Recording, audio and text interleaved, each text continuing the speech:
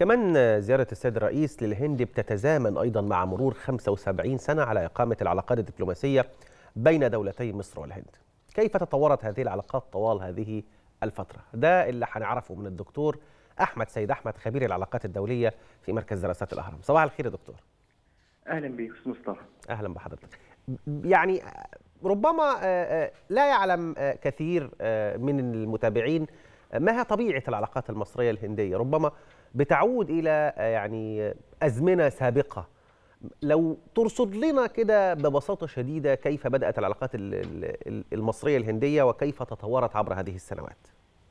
يعني العلاقات المصرية الهندية هي علاقات ذات طبيعة خاصة لها خصوصية حقيقية ومهمة من عدة زوايا. أولا أنها علاقات تاريخية قوية. يعني تأسست هذه العلاقات بشكل قوي عندما كان الاحتلال الإنجليزي لمصر والهند والهمت ثورة 19 أيضا والمهاتما غاندي في الهند والمقاومة السلمية التي أفضل إلى تحرير البلدين. ثم جاء عقد الخمسينات الذي شهد شهد درجه كبيرة من التنسيق بينهما بين الرئيس عبد الناصر وجواهرلال نهرو وتأسيس حركة عدم الانحياز التي كان لها دورا مهما في ضبط مسار العلاقات الدولية في ظل حالة الاستقطاب الدولي الشديدة حتى ما بعد الحرب الباردة وهي نفس الأجواء التي نعيشها الآن. وبالتالي هي علاقات قوية علاقات تربطها قواسم سياسية واقتصادية وثقافية وحضارية. الحضارة الهندية متشابكة مع الحضارة المصرية القديمة وهي علاقات قديمة ترجع إلى آلاف السنين. وبالتالي هذه الأسس القوية الراسخة هي التي وضعت أساسا قويا ومتينا لتطور العلاقات بشكل منتظم. هي شهدت طفرة حقيقية في عهد الرئيس السيسي في السنوات الماضية خاصة منذ زيارة الرئيس السيسي في سبتمبر 2016 ودشنت مرحلة جديدة من العلاقات والطفرة الكبيرة يعني على المستوى الاقتصادي على سبيل المثال وبلغة الأرقام على حجم التبادل التجاري بينهما يتجاوز 7.5 مليار دولار يضع الهند في مقدمة الشركاء التجاريين لمصر. وبالتالي هي علاقات قوية علاقات متينة تقوم على المصالح تقوم على الاحترام المتبادل تقوم على التنسيق السياسي. الهند كدولة مهمة سيادة الاقتصاد على مستوى العالم لديها مزايا نسبية وتجارب واشاد الرئيس السيسي في كلمته منذ لحظات بالتنمية المستدامة وتجربة الهند الاقتصادية التي جعلتها في مقدمة دول الاقتصاد العالم في مجموعة العشرين في مجموعة البريكس. وفي المقابل مصر كدولة اقتصادية إقليمية مهمة ذات اقتصاد واعد يحقق معدلات تنمو نمو مرتفعه رغم التحديات والازمات العالمية لديه العديد من الفرص المهمة والواعدة لجذب الاستثمارات الهندية في المشروعات العملاقة محور التنمية العاصمة الإدارية وغيرها وبالتالي هناك مصالح مشتركة لتدعيم هذا التعاون الاقتصادي بما ينفع البلدين. صحيح ويمكن يا دكتور اتفضل يا دكتور. آه أن هذه الزيارة حقيقة تأتي في سياق ما نسميه دبلوماسيه التنمية المصرية، السيادة المصرية والرئيس السيسي دائما ما يوظف هذه الزيارات هذه العلاقات وبناء شراكات مع كل دول العالم شرقا وغربا. كل التجارب التنموية المهمة في العالم ومنها التجربة الهندية كتجربة مميزة. والهدف هو تعزيز الاقتصاد المصري، تعزيز التنمية في الداخل بما يعود بالنفع في نهاية المطاف على المواطن المصري، ولذلك هذه الزيارة مهمة في توقيتها، مهمة في مخرجاتها في ظل حتى الأزمات العالمية التي تتطلب التنسيق ومزيد من التعاون بين دولتين مهمتين على المستوى الاقتصادي الدولي وعلى المستوى السياسي. صحيح يمكن دكتور العلاقات الاقتصادية الآن هي حديث العالم كله لو بنتحدث عن العلاقات الاقتصادية بين مصر وما بين الهند ويمكن حضرتك كنت بتقول إنه يعني الهند إنه يعني ترى مصر نافذة للشرق الأوسط ولدخول الشرق الأوسط لو تكلمني عن أهم المجالات والقواسم المشتركة فيما يخص الاقتصاد. بالطبع كل مصر والهند لديهم مزايا نسبية، الهند لديها مزايا مهمة يمكن أن تقدمها الاقتصاد المصري، هذه المزايا الهند معروفة ومشهوره في تكنولوجيا المعلومات، لديهم وادي بنجلور والذي يعني يناظر وادي السيليكون في أمريكا، الهند لديها خبرة كبيرة، أيضا لديها تجربة تنمويه في المشروعات الصغيرة والمشروعات المتوسطة، مشروعات رياده الاعمال، أيضا في التنمية المستدامة، هناك في التعاون الاقتصادي والتعاون الغذائي في مجال أمن الغذاء.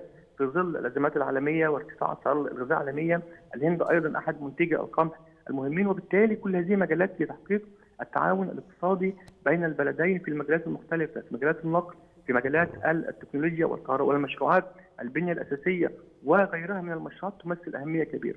نعم دكتور مهمة أيضا أن مصر الآن تعد بوابة الهند للشرق الأوسط وإفريقيا صحيح. نحن نعرف أن الهند أيضا من القوى العالمية التي تنافس على إفريقيا مثل الصين مثل أوروبا مثل آسيا مثل أمريكا وهي تدرك جيدا أهمية مصر كدولة مفتاحية في منطقة الشرق الأوسط اقتصاديا وسياسيا وأيضا الهند أيضا تعد مدخل مهم لمصر في الأسواق الأسيوية، الهند لديها مليار و300 مليون نسمة يسوق واسعه للسلع المصرية ولذلك كان جزء من لقاء الرئيس السيسي في هذه الزيارة مع كبريات الشركات الهندية العالمية وبالتالي عرض الفرص الواعدة في مصر جذب الاستثمارات حقيقه هي تمثل زيارة مهمة وتشكل دفعة لمزيد من تطور العلاقات بين مصر والهند. صحيح، دكتور يعني يطلقون على الهند صيدلية العالم مصر هنا أيضا ربما إحنا متقدمين جدا أيضا في صناعة الدواء وبنصدر للسوق الإفريقي والعربي ومعروف الأدوية المصرية يعني كيف تنتشر في الإقليم. ما هي فرص التعاون في هذا المجال؟ وخصوصا أن يعني في أنباء عن توقيع اتفاقيات في هذا الملف بالتحديد. يعني بالطبع هذه نقطة مهمة أستاذ مصطفى لأن الهند كما أنت أشرت في صيدلية العالم هي لديها تجربة وصناعة رائدة في الصناعات الدوائية هي تمثل قوة مهمة. أيضا مصر أيضا لديها تجربة مهمة في الصناعات الدوائية ومصر مصدرة للأدوية وبالتالي هذا يساهم بشكل كبير في تعزيز القطاع الصحي والقطاع الطبي خاصة أن مصر تولي أهمية كبيرة للمواطن المصري. والمبادرات المصرية المختلفة التي في حتى في معالجة الأمراض المستعصية مبادرات فيروس سي وغيرها من الأمراض المزمنة التي تشكل أيضا تجربة ملهمة أيضا للهند. وبالتالي هناك نوع من التلاقي والاستفادة المتبادلة في هذا القطاع المهم المهم خاصة يعني بعد جائحة كورونا و تاثر دول العالم. يعني استطاعت مصر والهند أيضا أن تنتج اللقاحات أيضا في في داخلها وأن تصدرها أيضا لنطاقها الإقليمي مصر لإفريقيا والهند أيضا للدول المجاوره المجاورة. وبالتالي الهند هي تجربة خصوصية لها ذات خصوصية تجربة مهمة هي تجربة تنمويه مختلفة حتى ربما عن التجارب الأخرى. وبالتالي يمكن الاستفادة من المزايا النسبية لهذه التجربة المهمة التي استطاعت أن تتجاوز أيضا وترفع وتخفض معدلات الفقر وأن تصبح يعني سادس أكبر اقتصاد على مستوى العالم وهي مجموعة العشرين. هناك نقطة أيضا مهمة للتعاون وهو أن الهند عضو في منظمة بريكس التي تضم الصين وروسيا والبرازيل وجنوب أفريقيا ومصر مرشحة للانضمام لهذه المجموعة، بالتالي هناك تقدير وهناك رهانات هندية وعالمية على الاقتصاد المصري. هذا بيعكس حقيقة قوة الاقتصاد المصري وسعي الدول المختلفة لبناء شراكات معه. العالم بعد أزمة كورونا وبعد الأزمات الحالية والأزمة العالمية يبحث عن التعافي الاقتصادي، إلى أين يبحث عن الاقتصادات الواعده والمهمة مثل الاقتصاد المصري؟ وبالتالي هذا بيعطي ثقل وتقدير واستضافة الرئيس السيسي ودعوته كضيف شرف يوم الجمهورية هو تقدير للرئيس السيسي تقدير لمكانة مصر وقوة مصر وتقدير أيضا للفرص الكبيرة التي يمكن توظيفها لتعظيم التعاون بين الجانبين. صحيح يا دكتور يمكن بيعكس رؤية واضحة ومشتركة مع حالة عدم الاستقرار اللي حاصل اقتصاديا وعالميا لكن هنا هذه الزياره تعكس رؤى مشتركة بشكل واضح ما بين الهند وما بين مصر. ده صحيح لأن الآن في ظل الأزمات العالمية خاصة استمرار الأزمة الروسية الأوكرانية وعدم وجود حتى الآن آفاق لنهايتها بالطبع يبرز هنا التنسيق المصري الهندي في في في مواجهة التحديات على الأقل في الأمن الغذائي. إحنا نعرف أن ارتفاع أسعار الغذاء عالميا ومصر أيضا تأثرت سلبا وأيضا الهند تأثرت سلبا وبالتالي لديهم من الناحيه الاقتصاديه دور في ضبط إيقاع هذه التحديات وتقليل تداعياتها السلبية. هناك نقطة مهمة أيضا وهو أن أيضا مصر والهند على المستوى السياسي يمثلان الآن قوة وركيزه مهمة في ضبط أيضا مسار العلاقات الدولية في ظل حالة الاستقطاب الشديدة الحالية بين أمريكا من ناحية وروسيا من ناحية، بين أمريكا من ناحية والصين من ناحية وبالتالي إثارة التوترات. وهنا يبرز الاستقطاب الدولي، هنا يبرز أيضا الميراث الكبير لمصر والهند في تأسيس حركة عدم الانحياز في تبني سياسة الحد الإيجابي التي تقوم على الانحياز للقانون الدولي، التسوية السياسية للمنازعات، احترام سيادة الدول، يعني رفض كل أشكال التدخلات الخارجية العسكرية وبالتالي يمثل ركيزة مهمة تضبط هذا الاضطراب في العلاقات الدولية في هذه المرحلة، هناك مجموعة ال 77 وبالتالي هنا الرئيس السيسي يقول أهمية كبيرة حقيقة للهند كدولة مهمة لها ثقل اقتصادي، ثقل سياسي، الهند لديها تاريخ مشرف في الدفاع عن القضية العربية، القضية الفلسطينية، صحيح في التصويت في في الأمم المتحدة صحيح كلها حقيقة مجالات مشتركة بتجعل أن هناك خصوصية حقيقية للعلاقات المصرية الهندية، ولذلك هذه الزيارة هي. بتعكس وتبرز هذه الخصوصية وتبرز التقدير التقدير الهندي لمصر كما تبرز أيضا ما توليه مصر من أهمية كالهند كقوة صاعده في النظام الدولي كقوة اقتصادية كقوة أيضا هناك رابط ثقافي رابط حضاري كلها تمثل أهمية كبيرة م. وتقوي تيار الاعتدال في العلاقات الدولية بالظبط. الذي يقوم على وتقوده مصر يقوم على تعظيم التعاون الاقتصادي على التوازن بين يعني. الدول وبين الشعوب. صحيح. طب يا دكتور لا أحد يعني يخفى عليه دور الهند في صناعة البرمجيات. هي الدولة الأولى الرائدة عالميا في هذا الأمر. يعني كلنا نعلم أن رؤساء حتى الشركات التكنولوجية الأمريكية هنود رئيس جوجل هندي كل يعلم هذا الأمر.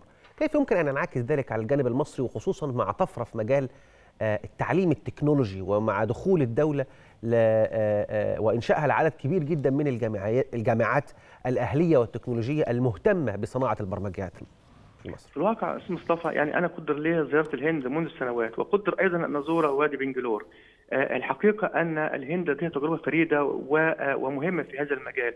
هي تغلبت بالفعل على أمريكا وعلى وادي السيليكون في كاليفورنيا. واستطاعت من خلال ال- آه، ارسال آلاف والمئات الآلاف من الشباب الهند للتعليم والتعلم. ثم العودة إلى الهند وبناء تجربة خصوصية. الآن الهند تعد الأولى في البرمجيات.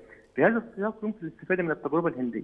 في ظل الانفتاح المصري وفي ظل التوجه السياسة المصرية نحو الاستثمار في الإنسان، الاستثمار البشري في تطوير القدرات المهنية والقدرات التكنولوجية، مصر توسعت في أيضا في في الجامعات الذكية وفي أيضا في حتى في المدن الذكية، كل هذا يمكن الاستفادة من الخبرة الهندية الكبيرة، وإحنا نعلم لدينا الآن هناك مشروعات كثيرة. القرية الذكية كل المشروعات والتوجهات الآن تقوم على استخدام التكنولوجيا الحديثة وفي إطار الحوكمة وفي إطار آه، التوجه. وبالتالي هنا مجال مهم للتعاون بين البلدين. بالطبع آه، آه، مصر أيضا مرشحة لاستثمارات هندية في هذا المجال في مجال البرمجيات مجال تكنولوجيا المعلومات لأن مصر الآن لديها البيئة وكل آه، البنية الأساسية البنية اللوجستية آه، كل كل الأشياء متوفرة وأيضا توجه القيادة السياسية في الاستثمار في الإنسان المصري تطوير مهاراته في فلسفة تطوير وعقل وصحة الإنسان المصري من خلال تطوير التعليم والاعتماد على ال- ال- ال- التعليم الحديث الذي يقوم على المعرفة وتطوير مؤهلات ال- الإنسان المصري لكي يواكب أيضا متطلبات العصر الحديث والسوق الحديثة. وهنا حقيقه تبرز الهند كما أيضا استفادت مصر وتستفيد من تجارب أخرى مثل اليابان، الصين كلها تمثل تجارب آسيوية مهمة سواء في مجال التنميه الاقتصادية وفي مجال وهو آه، والهند بالمناسبة كان ومشابه للاقتصاد المصري وفي ظل هذا التشابه وهذا التقارب. أعتقد أن مصر تستطيع وتستفيد كثيرا من المزايا النسبية الهندية كما أن أيضا الهند تستفيد كثيرا من المزايا النسبية للاقتصاد المصري.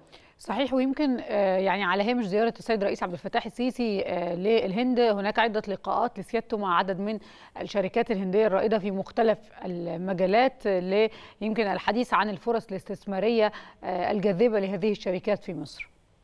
بالطبع يعني جزء أساسي من آه، آه، اجنده الرئيس السيسي دائما في كل زياراته في كل لقاءاته دائما جزء منها الاقتصاد والالتقاء بكبريات رجال الأعمال والمستثمرين دائما لعرض الفرص الاستثمارية الكبيرة في مصر فكرة ال- العلاقة بين ال- الاقتصاد والسياسة دبلوماسية التنمية أي تعزيز وتوظيف هذا الجانب السياسي والعلاقات الجيدة. لخدمة التنمية في الداخل، كما أشرنا إلى أنه يساعد في نهاية المطاف على المواطن المصري، لأن جذب الاستثمارات الهندية في مصر تمثل أهمية كبيرة خلق مزيد من فرص العمل، الاستفادة من التكنولوجيا الهندية ومن الخبرات الهندية، كما هو الحال أيضا في الانفتاح على التجارب. التنمويه الأخرى، الصين، اليابان، الدول الأوروبية، مصر تبني شراكات متعددة متوازنة مع كافة الدول، لم تقتصر فقط على الدوائر التقليدية، صح. كما كان في ال- آه، كما كان في آه، الهند كأوروبا وأمريكا وإنما الآن الدائرة شرق أوروبا، الدائرة الآسيوية، الدائرة أيضا الأفريقية وبالتالي كل هذا المطاف يعني أن هناك مزيد من الاستثمارات الأجنبية، الاستثمارات الهندية ومصر الآن هي مهيئة الان في مرحلة الانطلاق الاقتصادي. بعد استكمال البنية الأساسية واللوجستية الآن في مرحلة الانطلاق، هذا الانطلاق يعني جذب مزيد من الاستثمارات وبالتالي هذا بالطبع سيدفع ويعزز مصر ويجعلها دائما من الاقتصاديات الواعدة صحيح. التي تحقق مراكز متقدمة على المستوى العالمي. طيب دكتور ربما أنت ذكرت من شوية قصة التوازن الدبلوماسي العالمي يعني في ظل حالة الاستقطاب آه، المتعلق بالأزمة الروسية الأوكرانية الدور الهندي والدور المصري اللي بيلعبوه كدول مؤثرة في أقاليمهم الخاصة كيف يمكن أن ننعكس ذلك دوليا في عدد كبير من الملفات؟ رؤيتك. ربما أنت أشرت إليها بشكل كده إيه سريع ولكن أنا عايز يعني أدخل شوية. كيف يمكن أن يكون ذلك مؤثرا فيما يتعلق بالبريكسيت كقوة اقتصادية؟ كيف يمكن أن يكون. آه هذا أيضا متعلق بحاله التوازن الدبلوماسي العالمي في مصر أيضا في آه الإقليم المضطرب. تحليلك يا فندم. صحيح يا أستاذ مصطفى يعني دعنا نقول أننا نشهد عالم أكثر اضطرابا لم يعني يعني يذكرنا باجواء الحرب الباردة. طبعا في ظل الأزمة الروسية الأوكرانية وحالة الاستقطاب وهذا الاستقطاب والاضطراب أثر سلبا على العلاقات الدولية وعلى حتى مفهوم العمل الجماعي الدولي في مواجهة التحديات العالمية التغيرات المناخيه أيضا الاقتصاد الدولي وبالتالي هناك حالة من الركود وحاله من الاستقطاب وحاله من عسكرة العلاقات الدولية تقودها دول كبرى مثل أمريكا وهذا ما رأيناه في المناورات والتوترات حتى في شرق آسيا وغيرها. كل هذا هنا يبرز صوت العقل صوت الحكمة صوت الاعتدال صوت التعاون لأن في نهاية المطاف الصراعات والتوترات الكل منها خاسر. لا يمكن أحد أن يكسب من هذه الصراعات. وبالتالي هنا مصر والهند تقدم نموذج فيما يتعلق بالحياد والحياد الإيجابي بالزبط. يعني على سبيل المثال الأزمة الأوكرانية. والتاريخ والتاريخ أيضا فيه درس هام في هذا الأمر يا دكتور ما ننساش مؤتمر باندونج 1955 يعني هو الموضوع له أصول وجذور تاريخيه صحيح ده هذه نقطة مهمة، الهند لها ثقل والهند دايما مهمة في الأمم المتحدة وأعتقد أن هذا الحاد الإيجابي هو يضبط بشكل كبير ال هذا ال هذا ال الاستقطاب في العلاقات الدولية، الهند هي دائما مع مصر منحازين القانون الدولي، الموثوقة الدولية، احترام سيادة الدول، تعظيم العمل الجماعي الدولي، مفهوم العمل في مواجهة التحديات العالمية، كوكب الأرض واجه تحديات كبرى جائحة كورونا أيضا هددت السلم والأمن الدولي. الآن الأزمات الاقتصادية لا يمكن لدولة مفرده وفي ظل حاله الأنانية والانفرادية أن تواجه هذه التحديات لابد من العمل الجماعي الدولي. مصر في مؤتمر شرم الشيخ في المناخ أيضا كرست هذا المفهوم الاستنفار العالمي في مواجهة تأثيرات تهديدات المناخ في مجال الأزمة الغذائية العالمية مصر أيضا تقود هذا الاتجاه من خلال هذا التعاون مع القوى البارزه مثل الهند في مواجهة وتقليل آثار الاقتصادية عالميه، ارتفاع معدلات التضخم، معدلات أسعار الغذاء عالميه، العالم كله يعاني الآن من الديون، أمريكا عاجزة عن سداد الديون، كل هذا بيبرز أهمية تغليب صوت الاقتصاد، صوت التعاون، وهذه هي نقطة مهمة. النقطة الثانية أيضا أن الهند ومصر أيضا في إطار مجموعة 77 عدم الانحياز هي تعيد إنتاج تجربة الحياد و ضبط هذه التفاعلات بين القوى الكبرى لأن هناك تصابط سباق للتسلح سباق التسلح النووي كلها مخاطر حقيقية تهدد البشرية. وبالتالي الهند هي مهمة الهند أيضا بالنسبة لمصر أيضا مصر بالنسبة للهند مهمة. مصر هي مفتاح الأمن والاستقرار في الشرق الأوسط وبالتالي تسوية الصراعات وبالتالي تهيئة بيئة الشرق الأوسط للازدهار الاقتصادي. ومن ثم للاستثمارات الهندية لأن دائما الصراعات والحروب هي عدوة الاقتصاد هي عدوة التعاون هي عدوة الاستقرار والازدهار الاقتصاد وبالتالي مصر تمثل أهمية. أيضا مصر بوابة للهند لإفريقيا. نحن نعرف أن أفريقيا الآن الكل يتنافس عليها ومصر الآن هي معبر قوي عن قضايا الإفريقية في كل المحافل الدولية يعني دائما الرئيس السيسي في كل لقاء في كل دولة في كل مؤتمر بلسان أفريقيا قضايا أفريقيا وهموم أفريقيا صحيح. هي في قلب أجندة السياسة المصرية طيب دكتور عايز أروح مع حضرتك لمسألة التعاون العسكري ويمكن كنا شايفين وفد هندي موجود في القاهرة منذ عدة أشهر ومناورات هندية مصرية في نيو دلهي كيف ترى هذا التعاون؟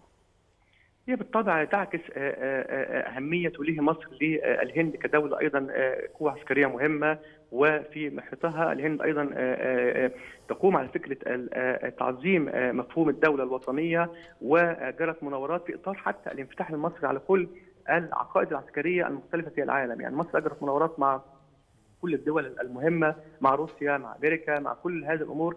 هذا طبعا بيعني بي بي طبعا بيؤكد تقدير العالمي وهذه الدول للقوات المسلحة المصرية كقوات احترافية لديها عقيدة عسكرية لديها قدرات وكفاءات عالية في دائما. وبالتالي أيضا تتيح مجال لتبادل الخبرات و وتبادل الفرص المهمة في مجال التكنولوجيا الحديثة. أيضا الانفتاح على النماذج المختلفة في التسليح العسكري كلها حقيقة بتعطي قوة ومتانة وبالتالي هي بتقوي أيضا أن هناك تحديات مشتركة في مواجهة القرصنة مثلا في البحر الأحمر في المحيط الهادي مواجهة الإرهاب التطرف أي أيضا الهند أيضا ومصر تتفقان في هذه النقطة.